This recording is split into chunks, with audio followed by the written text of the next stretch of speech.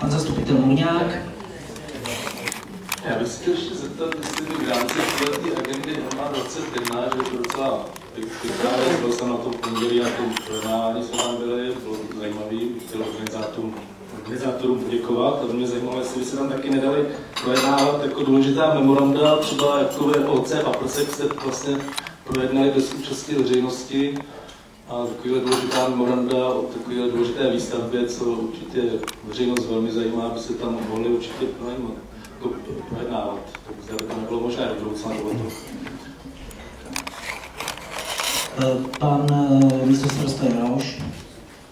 Tak samozřejmě můžeme se nad tím zamyslet, ale zase nechceme, protože teďka bylo veřejné vlastně projednání, druhý veřejné veřejné projednání parkovacím zónám, tak zase jako nechceme úplně svým způsobem každý 14 dní dělat nějaké veřejné projednání, ale určitě se nad tím rád zamyslím. Děkuji.